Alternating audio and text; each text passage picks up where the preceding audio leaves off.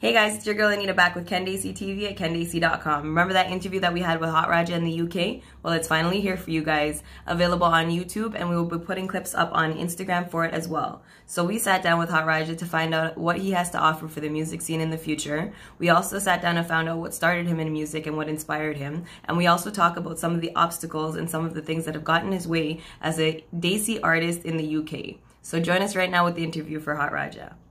I got a dream, you know I got a dream And I gotta chase it, as crazy as it seems. You know I got a dream, you know I got a dream And I gotta chase it by any means. You know I got a dream, you know I got a dream And I gotta chase it, you know what I mean I got a dream, you know I got a dream And I gotta chase it, as crazy as it seems Everything I write gotta be a banger. I'm trying to have planes on the GTA hangar. Uh-huh. And I don't care about the glitz and the glamour. Uh-huh. Natural drip, I don't care about the swagger. Uh-huh. Mills in the safe and the locker. Fly out for lobster in a helicopter. Yeah, true. So, so at what age did you like really decide that you wanted to go into music? Because as you said, like even like I'm Guyanese as well. Mm-hmm. So for me, I wanted to do singing and acting when I was younger, and my mom's like, "That's not going to okay. make any money," you know. Okay. So yeah, I yeah. went into law.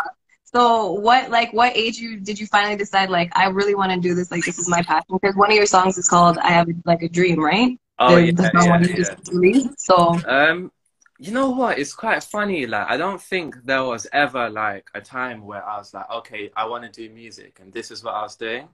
I feel like I've always had plan A, plan B and plan C like in the mm-hmm. works.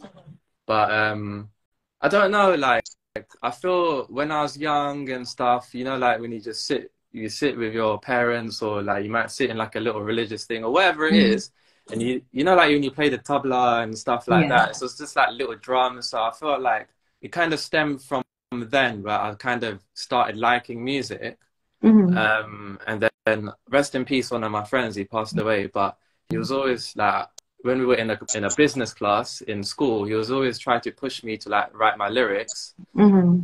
and then once I guess I put I first went to record when I was 16, it was just it was just for fun. But when I got the MP3 back or the master back or whatever, mm-hmm. we were just enjoying it so much. And then I feel like only once I got to university, I was like, okay, cool. Like, I'm studying biomed here, or I'm trying to get a master's degree in whatever, or, or this and that. But I still want to do something on the side, and I still mm-hmm. want to like make people um, happy or, you know and like because they enjoy listening to my music and stuff so i want to keep fueling that um, and then i saw i saw like after i'd finished my degree like the uk scene was quite dead like not mm-hmm. dead but it was it was quite hard to break through i feel mm-hmm. um, and like obviously with social media and you know everything that come in i felt you know what now is a good time for me to kind of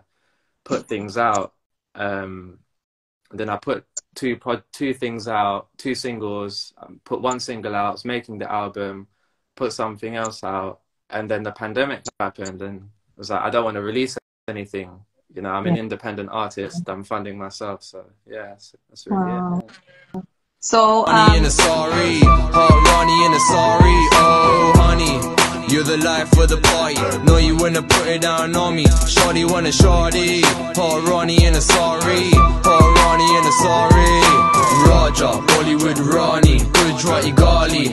Punjabi Barbie. Spicy, red hot. Shilla Kijiwani. Put your hands up like you don't care. Bale bale, let's have a party. Welcome back, guys. We hope you enjoyed that little interview from Hot Raja. We will have more to offer to you guys in the next couple of days with the clips that we'll be posting. And the full interview will be available on YouTube on the link down below. So we hope you guys enjoyed the little interview with Hot Raja and we hope you learned a little bit of something about him and his culture in the UK. And we hope you guys can join us next time for the next interview with Kendesi TV at kendesi.com. Again, I'm your girl Anita in Canada as the host of Kendesi TV and we hope to see you guys soon.